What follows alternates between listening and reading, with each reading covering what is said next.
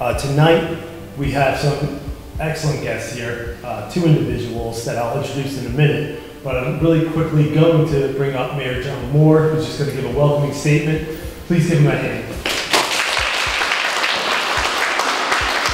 Randy and I disagree on local issues, which is normal, but Randy and I disagree on the big issues. And as much as this is also a local issue, it's a national issue, it's a worldwide issue. And anything Asbury Park has done in the past to be supportive of help not handcuffs in 2015, we were the first city to adopt legalized marijuana. Uh, when Randy needed letters to be recognized in the United Nations, we supplied. Randy, I cannot thank you enough for what you do for the entire world. Thank you. Uh, This is going to be a great subject tonight. We're going to hear a lot of stories, but there's, and I did a little bit of research, and Randy said, John, I sent some cliff notes and everything. I'm like, okay, whatever. But uh, I I read articles, I read part of the book, uh, Chasing the Scream. Oh, yeah. But chasing the scream hits it on the head, but tonight and in the future, we should not be chasing the scream. We should be chasing the dream. It should not be an Asbury Park dream. It should be a worldwide dream as far as like what Portugal has done and what the rest of the world can do to follow suit because look at the statistics and the statistics, statistics say it works. So again, doctors, so thank you so very, very much. Thank you. So before we go to our speakers, I just want you to think about, again, your work, about the facts that we know about the drug war in the United States, that it was never about protecting us from drugs. It was about stigmatizing people who use drugs, dividing us. Don't take my word for it. Take President Nixon's top policy aide who helped craft the expansion of the drug war. He came out and said that publicly not so long ago. They needed to target certain groups. That's why they exacerbated the drug war. Think about the racial disparities in arrests, how it's a racist policy. Think about the human rights violations, the right to life, the right to have a job, the right to be accepted in society. These are the things, the right to not contract AIDS just because you're using drugs, just because you can't access a clean needle. These are things just to keep in your mind, how they impact New Jersey, how they impact Asbury Park. And listen closely and intently to these speakers, they're gonna give you some great information. So it's my pleasure to introduce once again the Open Society Foundation, the Director of the Global Drug Policy Program, Dr. Kasia Malinowska, and also from Portugal, the Director of the National Drug Strategy and the former Chairman of the European Monitoring Center for Drugs and Drug Abuse, Dr. Jabal Thank you.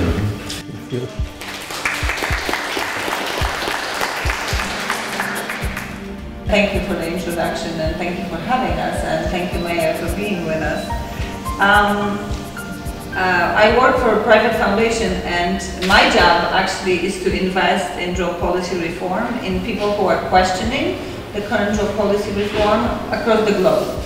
So I work with folks in Japan, in Hong Kong, in, um, in Bolivia, um, in my own country, Poland, and uh, as, as I get to travel and meet people, I see multiple sort of approaches that countries or communities are adapting to, uh, that, are, that relate to drugs. And so, you know, as I make those trips, I often think, hmm, it'd be great if those folks came to New Jersey and had a conversation with us about this. Um, because as Randy pointed out, you know, we are struggling with various things, right? Uh, this is not my data that I'm quoting Randy here, but 40,000 arrests for, for, uh, uh, for drugs in the state of New Jersey in a year seems a little insane. Uh, overdose uh, in thousands uh, seems awful. Um, so, so I think the list sort of, of grievances goes on. And so again, it's, you know, I, I live in Rutherford, New Jersey is my home, and so I thought that, oh my God, let's just bring people here and let's all learn from experiences of others.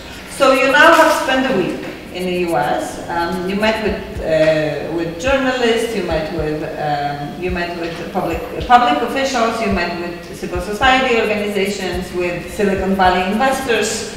Uh, I think the range is pretty broad. Um, academics. Um, so if you can talk a little bit about what you observed in terms of um, how what we're struggling with is or is not similar to uh, where you come from.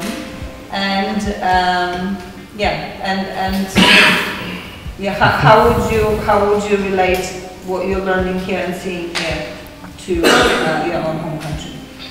Well, first of all, it's uh, very good being here with you and sharing some views. Thank you, Henry. Thank you, Mayor, for joining us and for your kind words also. Thank you all for being here.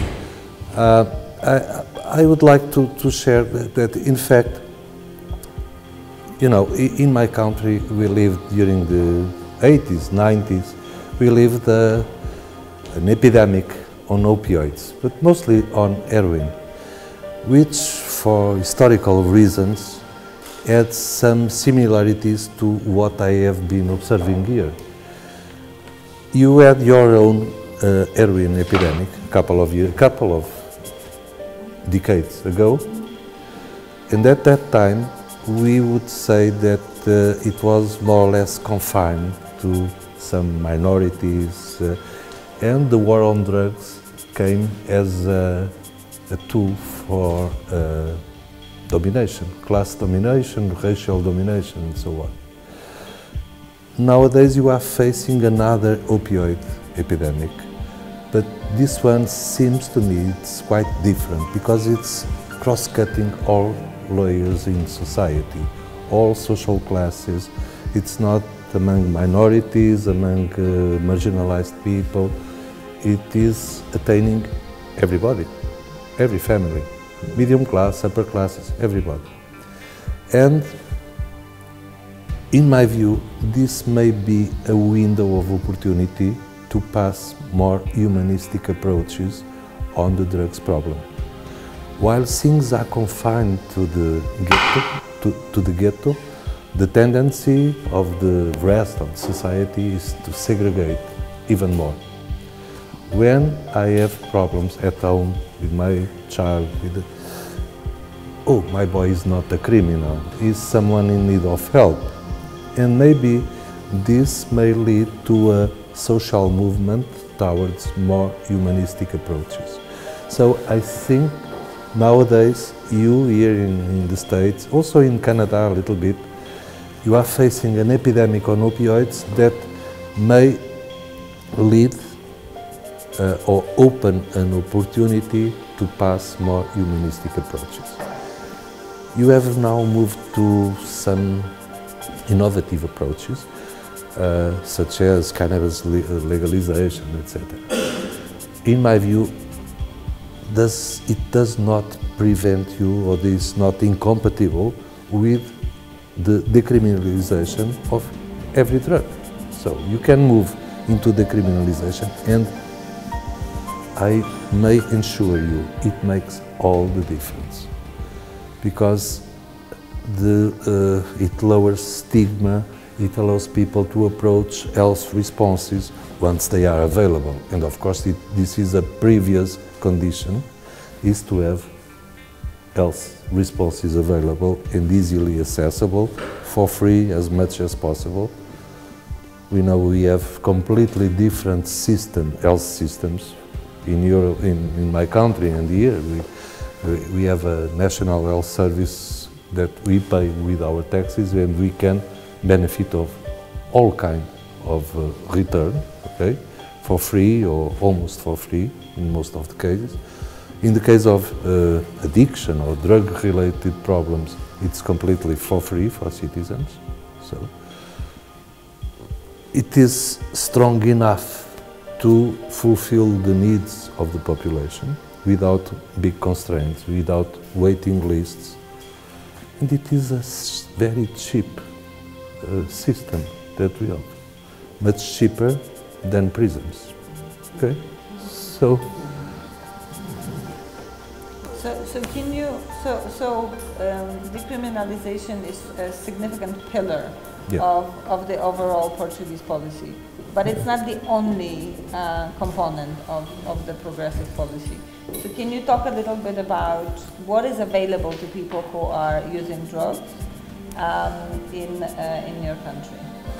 Well, we have a broad range of uh, offer. Of course, we, we work on, on prevention, we work on schools, on families, uh, on community. Uh, but I, I, would say that the most significant investment is in treatment, treatment supply, and harm reduction that are very much interconnected. Just to give you an idea, in Lisbon, we have several centers for the treatment, outpatient clinics in Lisbon. We have clinics all over the country. Yeah, small country, 10 million inhabitants, so it fits within uh, New Jersey. Uh, but uh, we have some 40 something uh, centers, outpatient clinics all over the, the, the, country. But on top of, of that, we have very easily accessible methadone programs, low threshold methadone programs. To give you an idea, in Lisbon alone, which is a city of 1 million inhabitants, we have uh, vans circulating all uh, across the city and stopping in specific spots at given, given hours, and that provide uh, methadone doses daily, including Sundays and holidays, every day they circulate and they serve 1,500 people with low threshold methadone programs. This, along with syringe and needle exchange, which are available in every pharmacist, all the pharmacies, in neighborhood pharmacies. So it's easy to, to drop a used syringe and get a new kit for free. If pharmacists are, do it for free, okay? Uh, the, the state places there the kits that are, have uh, syringes, uh, condoms, and all the paraphernalia for, for use. Uh, Can you cup. tell us, that's every pharmacy? Every pharmacy. And how many needles are you handing out? Around 2 million a year. Just a quick intervention. This is a map of New Jersey that we produce from Help Not Handcuffs. We have half a dozen syringe access programs for 565 municipalities. If you look, there's only one syringe access program for the entire half of the state versus being in every single pharmacy. So, um, I know that many people here in, in New Jersey right now are pushing for expansion of syringe exchange programs, which obviously is a great thing, and, and low threshold services are incredibly important. My concern a little bit is that we're setting these people up against the local police, because if you're going to get needles and syringes, I mean, yourself identifying as, as a drug user in an environment where, where that is punitive, uh, where 40,000 arrests are taking place. So, so I think that this discussion about decrim uh, and expansion of low threshold services together is really important because again, we don't want to be setting people up uh, where they will be available for arrest. Um, so, so I think that's, that's an important question. Now, you know, in the US, I mean, we, we like money. and so what, what, ends up, what ends up happening very often is that public money becomes available and then basically for-profit entities uh, use that money for treatment that is not always sort of optimal for the patient. In the 90s, we had usually around one overdose death a day. That means 360 something every year. In 2016, we had 27 overdoses deaths all over the country, all over the, the, the world. The, the An entire year, 27 entire overdose 27. deaths. Yeah. In that same year in New Jersey, we had how many, Kasia? 2,221 deaths. Yeah. They have liberal drug laws, we have harsh drug laws. We're approaching 3,000 overdoses in 2018. Yeah, yeah that's it. Uh, the the uh, HIV infection dramatically dropped. Uh, well, it was. It's it's it's funny to to to see uh, the drop of HIV uh, infections among IDU injecting drug users completely crosses the line of the increase of methadone programs. It's the opposite side, okay? Uh, it's almost, almost as a mirror. Uh, there must have been someone who, in the beginning at least, didn't like that idea so much. So, so you have uh, wide, wide availability of harm reduction services, needle exchange programs, low threshold programs. You have wide availability of uh, treatment, and you have decrim. And anyone who was concerned about the decisions you're taking about decrim? I would say that was a social movement very much in favor of this, kind of a bottom-up movement. But at the, at the political level, things were not uh, so easy uh, because uh, Decrim is a part of a strategy that was adopted by the government. I was one of, one of the members of the panel who proposed this uh, strategy to the government. Uh, and the government adopted as a package, okay, but Decrim had to be discussed at the parliament. And it took almost one year since the strategy was adopted until the discussion uh, was held in Parliament. We took that period to organize a huge set of uh, public sessions to discuss it. And what I take from that period was a huge social support to the idea of Decrim.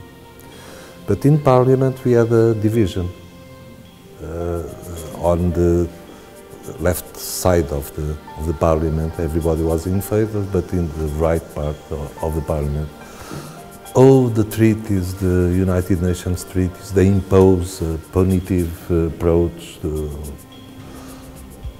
Portugal will become a paradise for drug uh, users. We will have planes coming to Lisbon every day with people to use uh, narcotourism, okay? Or our, our children will start using drugs with the, the milk bottle. Well, and we knew we should make it well. Okay, okay, okay so, so I, I would suggest that uh, we give uh, all of you an opportunity to ask questions. Um, and yeah, and, and then if there's anything that you feel is left unaddressed, you can just offer it at the end. Okay. Ian, you want to start off? Yeah, um, I know that the United States and Portugal are very different culturally, and I'm sure that the implementation of the, you know, decriminalization drug programs around the turn of the century was a little bit tumultuous, but what are some of the ways that you had to change the culture for the program to be accepted and integrated? Uh, you see a lot of progressive drug policies starting to come up, whether, you know, be needle exchanges, or cannabis legalization, but just for example, with cannabis legalization, you see youth arrest rates go up, even though youth, youth use rates aren't going up. It's just the culture of the police continue to prosecute. So what are some ways that you could change the perception of drugs within the greater culture for larger acceptance? Well, I believe that public discussions with the, the community are crucial to discuss and to make a new mindset. It was important at, uh, at the beginning of our discussions, uh, the, the fact that I already shared with you, it was cross-cutting all society? So everybody had someone with problems at home. And this turned, uh, uh created a kind of a, a, a movement towards a, a, more humanistic approach. Instead of uh, chasing people instead of prosecuting people, okay, we need to find ways to uh, help these, people and to end the, the deadly rates of uh, overdoses, uh, HIV infections, and so on. Uh, thank you very much for coming to speak with us. You traveled a long way. Um, I've been watching policy for about a year. Um, Randy actually told me about it, and uh, you guys initiated this policy, and it inspired me a lot. i am a person in recovery from um, opioid disorder, a very long time. And um, the drug laws in this country, I never thought I would live to see change of any kind. And when I saw the policy that enacted, it really gave me hope. Um, right now we have a legalization of cannabis movement coming into New Jersey. And it's a really big issue, in my opinion. It, and it directly affects our opioid epidemic and the culture that we will have the rest of the country. We have legalization coming, and people are looking at it as, okay, they're starting to reform drug policy. But what they fail to realize is that legalization is not allowing, is not taking the arrest, is not taking the criminal aspect out of the drug policy. And as a person that has been in multiple encounters due to my addiction, it's just so imperative to me that we enact a policy of decriminalization over legalization. And I wanted to ask you, you know, we're a country that is largely dependent on our criminal justice system. We have jails fueling, you know, our states. So in your country, what did, what did you, what did you have to do to overcome the judicial and the I know you may not have had the um, levels of incarceration that the United States has, but that is one of our biggest objectives in fighting this decriminalization. The powers of our incarceration systems, these private prisons, really are taking control of our drug policy. So did you and your country have that problem? Did you face a similar situation? The jails with the, you know, um, police and that, that type of? Because that is what I see as one of the biggest hurdles in getting decriminalization and true drug policy and reform through to the United States, New Jersey, and individual diagnosis treatment? No, uh, well, there are obvious, obviously there are differences. We do not have that system of private pri privatization of, of uh, prisons. Uh, they were overcrowded with drug users prior to the decriminalization when the decriminalization was decided in 2000, uh, people were released. People who were convicted by mere use was, were released from prisons. And since then, the prisional uh, uh, population has decreased a lot. Okay? So the conditions in prisons are much better now for the other convicted people than they used to, uh, to be. And there was not a big pressure, I would say, to keep prosecuting mere users. So um, we feel quite comfortable with this, with this uh, decriminalization model. Uh, perhaps I, I, should explain a little bit what happens to a drug user, uh, to, a, to a, someone who uses drugs or possesses drugs, uh, if he is uh, intercepted by, by the police. Okay? Because we have a drug law that comes from 93, which is quite tough also, quite uh, punitive also. And in 2000, we only changed an article of that law. That is the one who deals with personal use and possession for personal use. Okay? All the rest remain the same. In practice, if someone is caught by the police, intercepted by the police in a public place, using drugs or in possession of drugs, the police officer still picks the, the person to the police station, apprehends the drug, weights it, and there's a threshold that is calculated on the basis of personal use for 10 days. For cannabis, for instance, is 25 grams. And there's a table with different amounts for different substances. If someone has more than that, he's sent for the criminal justice as, as before. Okay? For a trial, the, uh, they will prepare all those files for investigation. Yeah. But if he has less than that amount, he's just sent for the uh, health system. Okay? It's intimated to present before a, a committee that is called Commission for the Dissuasion of Drug Addiction, that is composed of three people, a, a jurist and a lawyer, a psychologist and a social worker.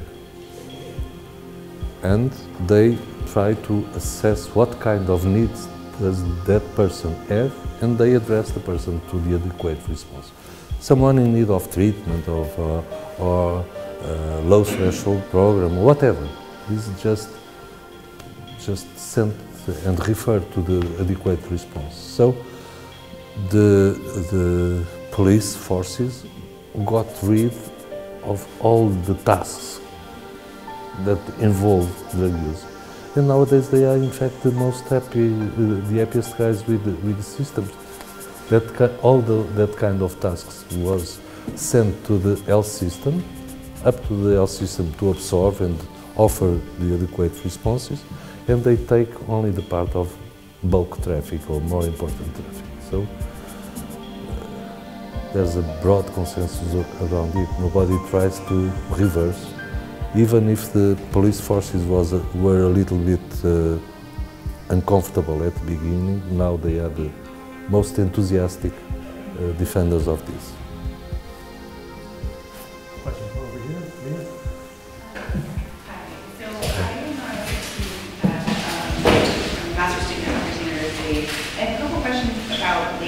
Management. So you were saying that the police force were um, not really happy in the beginning, but are happier now.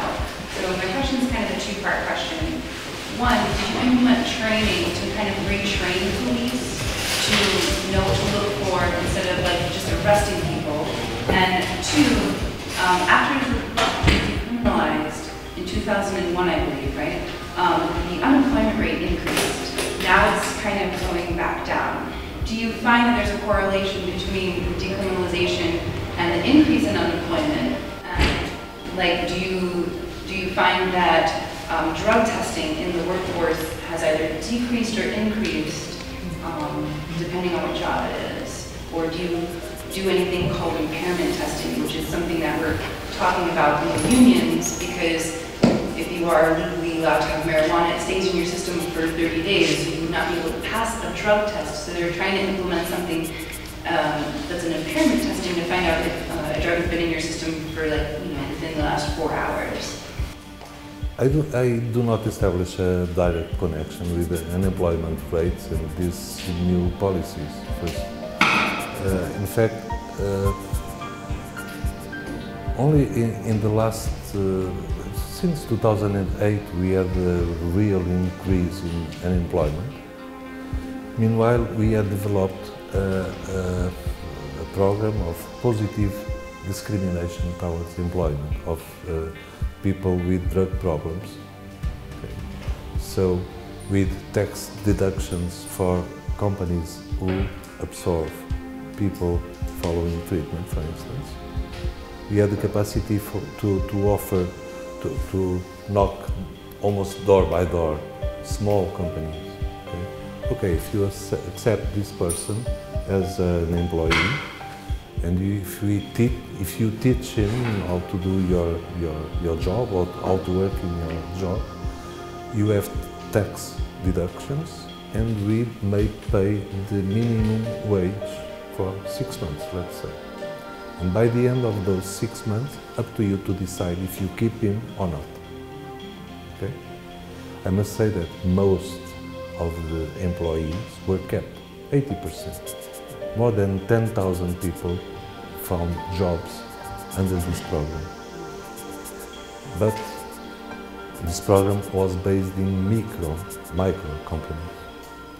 When the crisis came, those micro companies went to bankrupt at hundreds. So most of these people lost their jobs again. And this is an unexpected side effect or a problem that occurred in meanwhile. So there was an increase in uh, unemployment rate in general population we reached 16% it was huge and under that those circumstances it was it was very difficult to keep that problem when people start to say well i have to use, i must use drugs to get, to get a job things become very difficult in terms of social and political support okay? so that's the kind of, of things. But now we have the tools to fine tune our policies. We have now the problems with people who lost their jobs, who uh, relapsed, some of them relapsed. And they are no longer 20 or 30 years old, they are 60, 70 in some cases. And this poses new problems for us to find new responses to, to deal with that population. That's why, that's one of the reasons why we are about to open the first uh, safe injecting spaces in, in Lisbon. It's because that population is not uh, is not attained, is, is, is not served by the programs that we have nowadays. So we need new, on top of, of what we have, we are, we are going to install safe in, injecting spaces. Uh, well, unemployment with it, of course there are, there are a relation, but I would not establish directly with uh, the decriminalization policy. I don't know if this ans- answers to your questions or not, but uh, yeah. As far as your police is concerned, retraining of the police as well. Sorry, I did. Ah, okay. Well, meanwhile, in those uh, last 20 years, we have uh, also, we train the police, but meanwhile we have a new generation of police officers, completely different from the traditional ones. Uh, uh, very well uh, informed, very, very, very educated, uh, uh, and with different mindset. They were educated under this framework, so they do not, uh, did not have to learn how to work differently. They started working under this framework. So nowadays it is very well accepted on this. I'd like you to elaborate more about how, you know, the type of healthcare system you have over there, how it led to a more of a better treatment for people with addictions. Because I think the bottom line is about the healthcare treatment because, you know, if it's about, you know, the healthcare is a right for human beings rather than what is based in this country based on money, and that's part of the problem. Could you elaborate how y'all, because I think that's the first step politically to get to that point. How did y'all, you know, really work on getting to that point your healthcare system was about that, universal healthcare, and then how that connected to the whole treatment of addictions?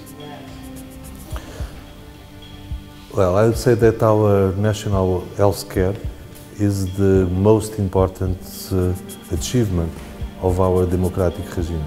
It started, uh, we are uh, commemorating now the 40, 40th uh, anniversary of National Health Service. It is the biggest conquest uh, of, our, of our country.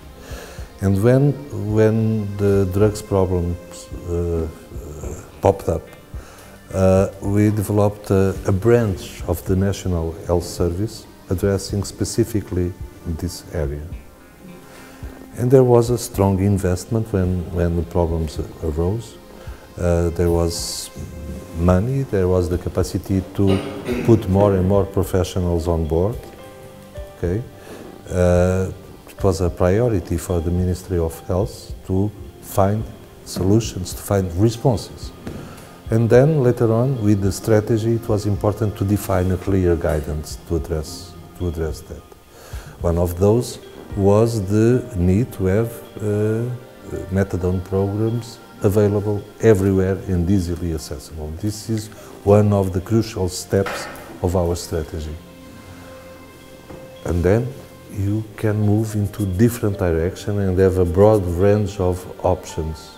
Okay, but first, it's not not mandatory that the first step is methadone, but uh, for most of the cases during the, the opioid or the heroin crisis, yes, it was the first response. Uh, information and best practices sharing. Uh, so we try to incorporate the most that, that we can all those best practices uh, across the world. I could just add one point. Um, I, I agree with you how important universal health care is, but the importance of not decoupling decriminalization from these other pieces of services, because then you're going to drive people to the margins, not going to have safe consumption spaces. They may get arrested, be harmed there. What good is the health care if they're now in jail, et cetera, et cetera? And just understanding how fundamental that, that pillar is, Yep. especially in the American context.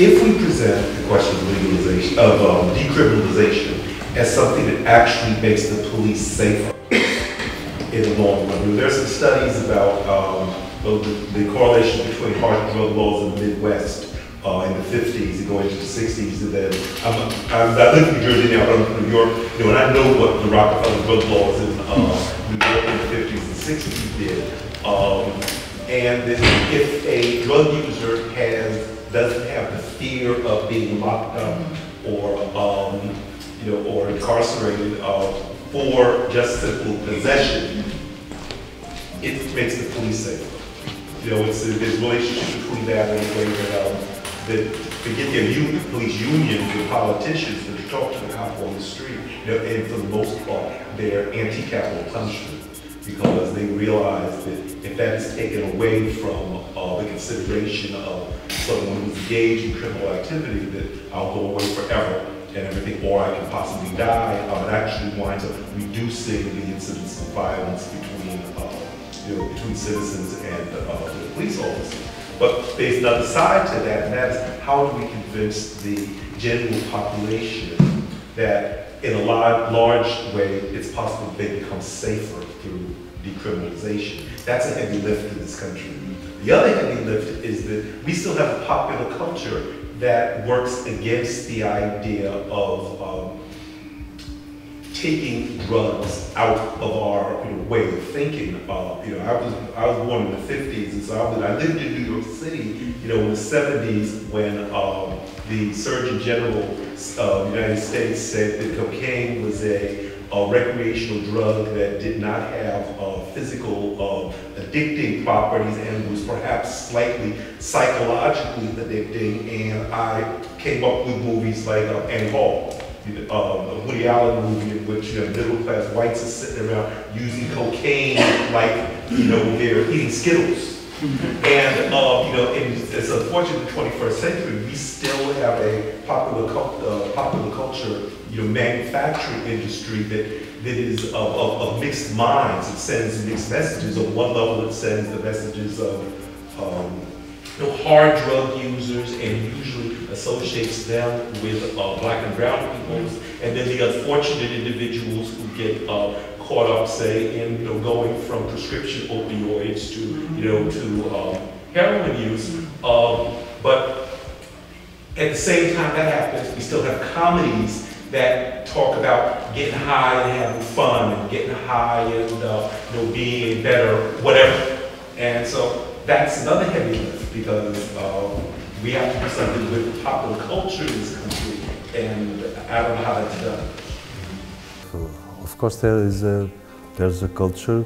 There's still, for instance, uh, uh, cocaine is still uh, uh in the uh, social representation very as a very fashionable people from some lightning uh, lives, you know. Uh, while other other substances are much more connected to uh, uh to segregation, to poor people, to marginalized people, and so on. There's a collective imaginarium around drugs that still stand. I must say, for instance, in, in, my country nowadays we have very few new heroin users, new young young, because the this idea of uh, degradation that happened with the previous generations is present, but cocaine still has a sort of a glamour associated. It's associated to artists, to stars, to, and it is very attractive. Okay?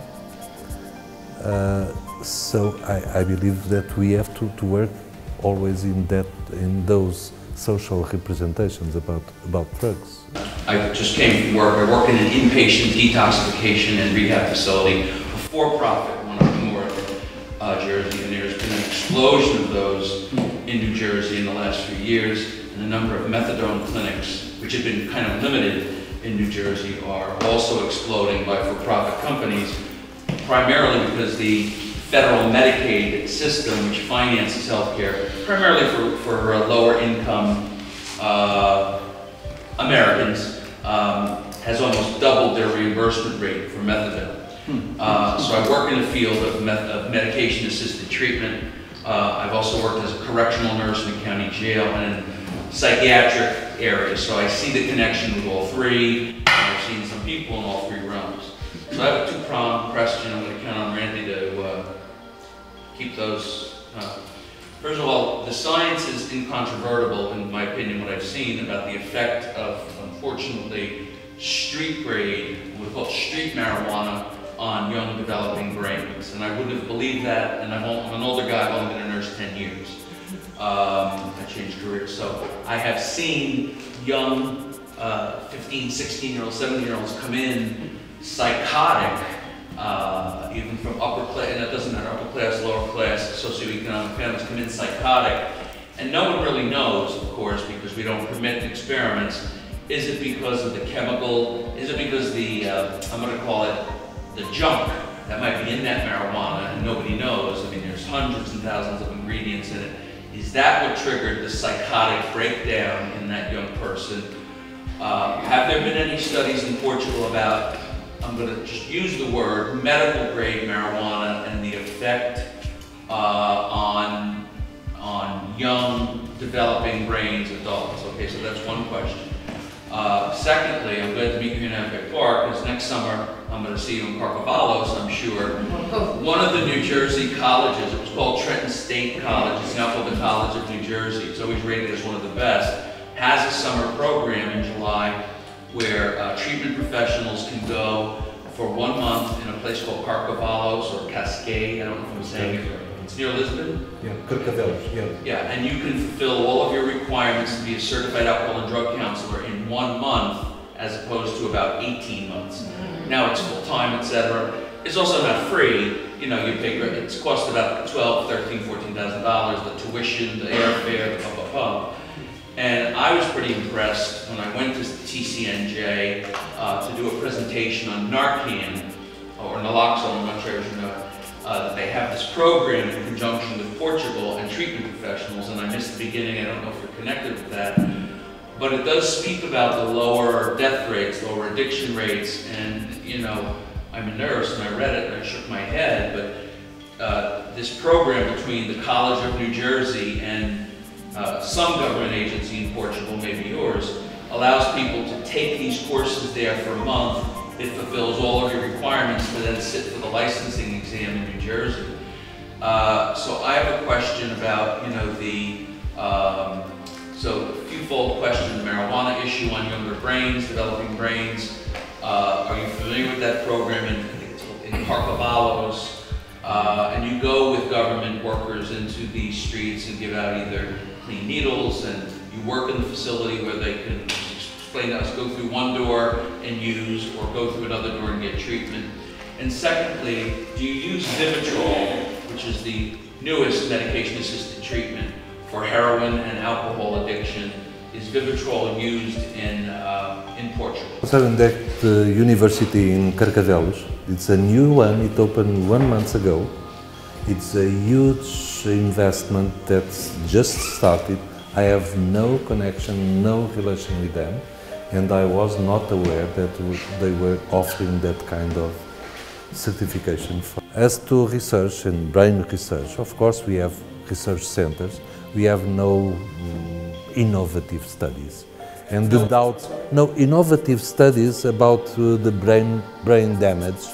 Uh, uh, we participate, we have researchers participating in multicentric, uh, but as you know, there's no clear evidence. You find study on one direction, you find 10 in the opposite. So there's no, well, and you have, I, I, I do not know any sort of discussion with so many ideologic bias as around uh, cannabis. Uh, you find the studies that you want to get, okay?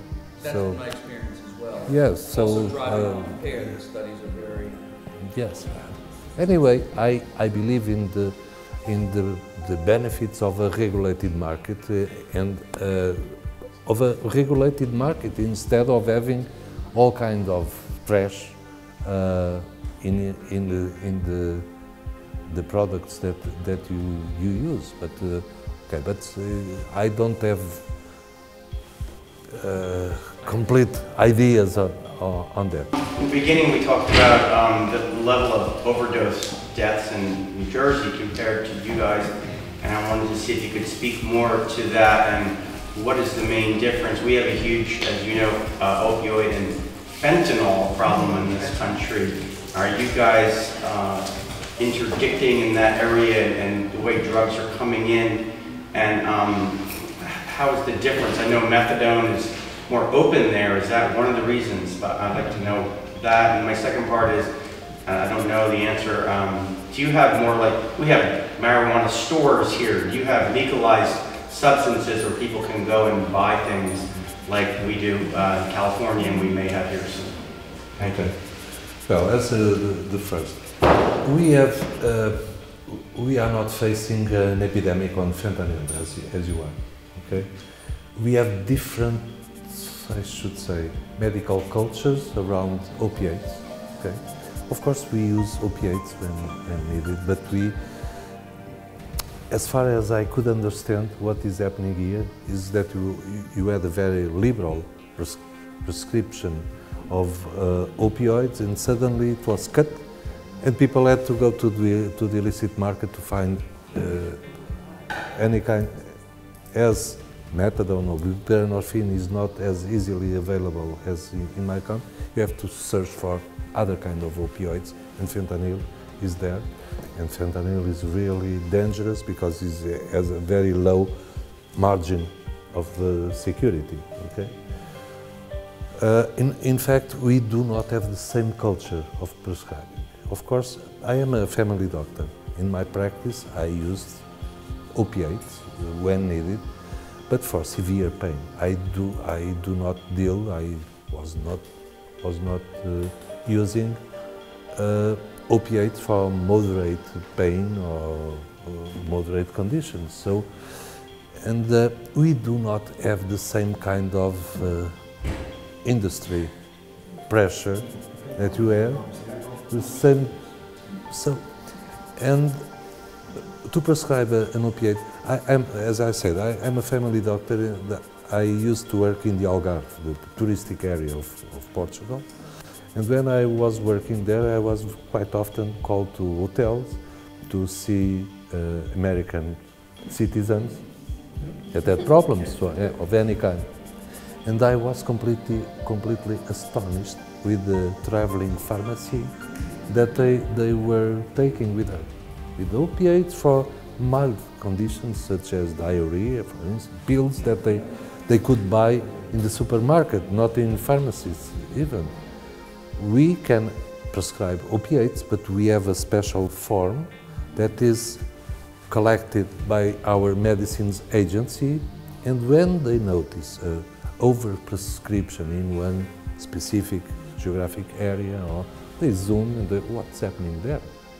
And if they notice there, okay, this what is happening with this doctor that is over prescribing so much opiates, what's happening?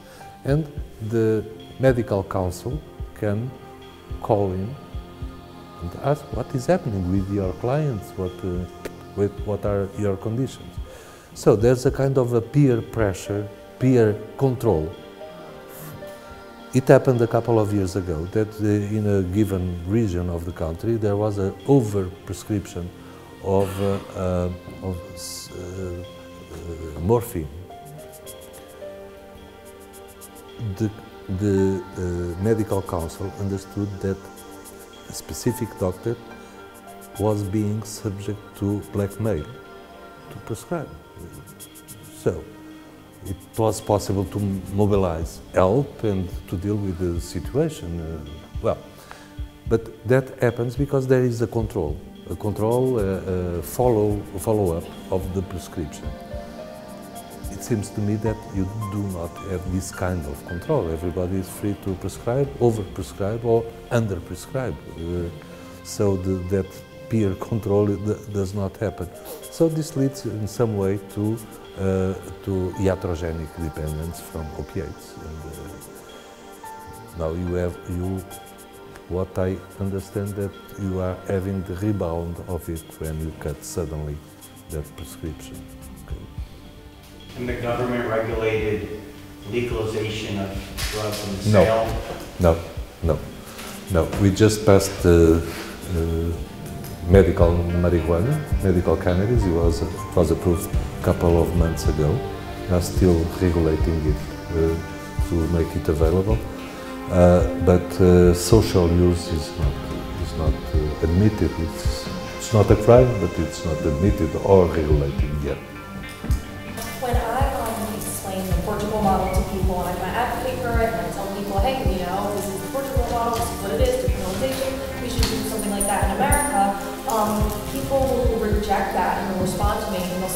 Well, we're not Portugal, we're America, you know, we're too different. That's not going to work here because we're America. Um, what would be your response to that? What should I say to that?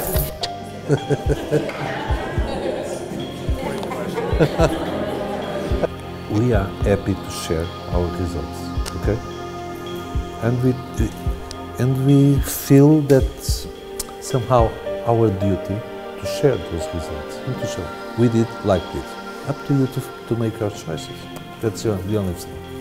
It happens also with, with those countries who were left behind, and we feel somehow responsible to share with them. Philippines, Singapore, uh, Indonesia, they feel well, we are hosting meetings, we are inviting them to visit us. Come and see how we do. Up to you to decide, but come. So I think this, this, this is our, our role nowadays.